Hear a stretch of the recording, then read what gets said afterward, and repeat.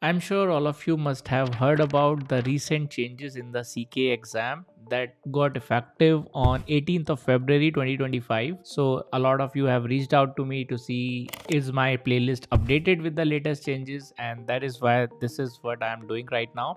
So I am providing all the information in this video about what are the changes, what are the new things that's been added, what has been removed, what has been changed or updated and what are my plans to release all the videos all the new topics that have been added?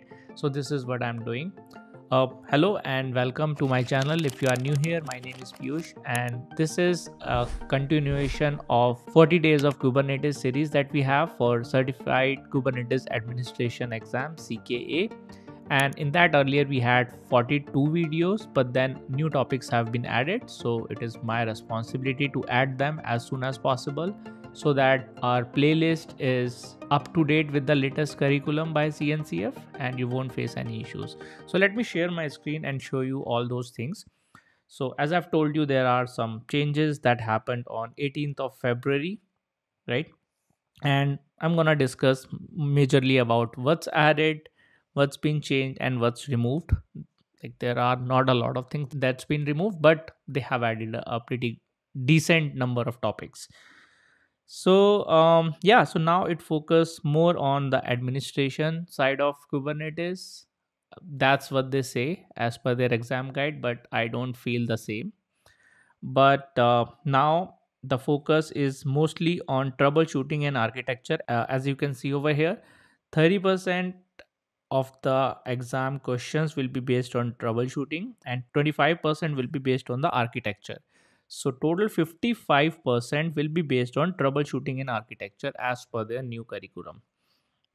Now they have increased the exam cost as well with 10%.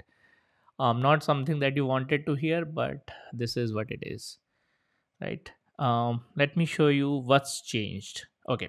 So they have increased the focus on these topics uh, in different sections. So in storage, they have added dynamic volume provisioning, storage classes, volume types, access mode, reclaim policy, and etc. Like all those things. So these are the topic in which they have increased the focus. These are not newly added topics. Some of them are maybe, but mostly they have increased the focus on these, such as auto scaling, affinity groups, node affinity, pod security, tall taints toleration, and you can read through all of these, right? For most of these, I have already covered in my uh, series, right? For example, auto scaling, node affinity, taints toleration, affinity. Uh, I've added it twice, but yeah.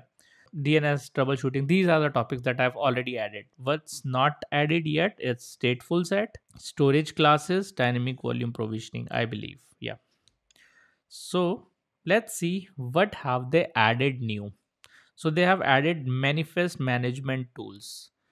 Helm and Kustomize. These are two important topics that they have added now. Okay. Then they have CRDs and operators, custom resource definition and custom resources, operators, etc. Then they have increased the focus on CNI, CSI, and CRI, uh, the container extension interfaces. Then newly added topic Gateway API, where, uh, which is the newer version of Ingress, right? And then we have pod admission and high availability control plane. So these are the topics that they have newly added. And what's removed? They removed etcd backup and upgrade. I believe that's the only topic they have uh, removed because in the blog that they published they mentioned that they removed some other topics which i could find in the exam guide the latest exam guide. So those have not been added. So only this topic has been removed but this was already covered in my CKA series, so you are most welcome to learn it if you have not. Now, that brings us to the main question What new videos that I'll be publishing to make sure my series is up to date with the latest curriculum? And these are all the topics. So, there are a total of 11 videos that I have planned so far. There could be more if I find any new topic that has been added, but for now, there are 11 videos and each of these videos are helm Kustomize cr crds operators uh, container network interfaces runtime interfaces and then um, gateway API, storage class and dynamic volume provisioning, pod admission, stateful set, HA control plane, priority class. So these are all the topics that I have added and I will include that uh, in this series onward. Now, when I will start publishing this series, so I'll be publishing that from March, which is ongoing to April. I will try to complete this as soon as possible. Hopefully, this will be completed within March itself. But if not, this should be completed in the first half of April.